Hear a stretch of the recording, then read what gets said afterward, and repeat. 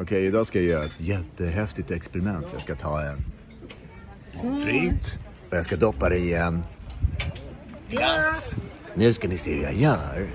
Tar jag pommes fritesen. Här kommer pommes fritesen.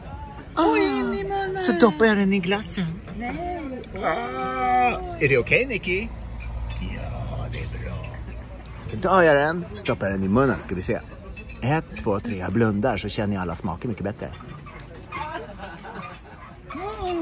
Åh, vad den var gott! Jag är en person som gillar pommes frites med glass. Och kom ihåg, prenumerera på mitt konto så jag får massa pengar och kan köpa Lamborghinis. Hello!